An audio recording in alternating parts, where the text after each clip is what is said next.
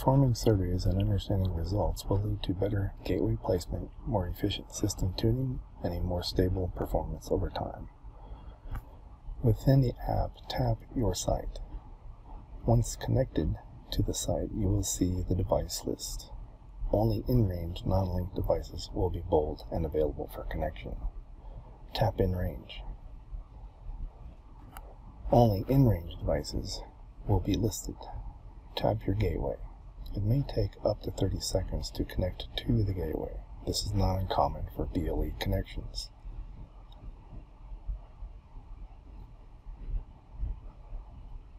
Once connected, tap Site Survey. The survey tool will load. If a previous survey has been run on the gateway, that data will still be present. Tap Start Survey to get current data. This process can take up to 2 minutes per lock. This video section has been accelerated for conciseness.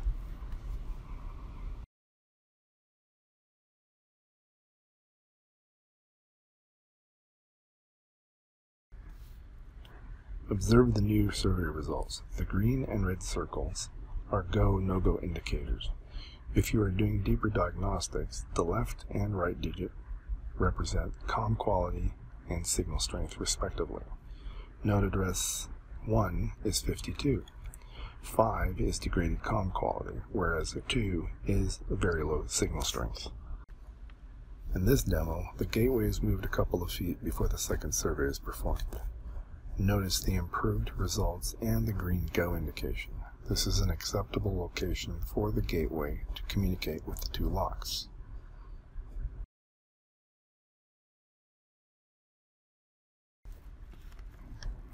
Let's review some possible return values. 89, good COM quality, good signal strength. 92, good COM quality, poor signal strength. This could be susceptible to intermittent interference and noise. 29. Very poor COM quality. 9. Excellent signal strength. This suggests significant interference.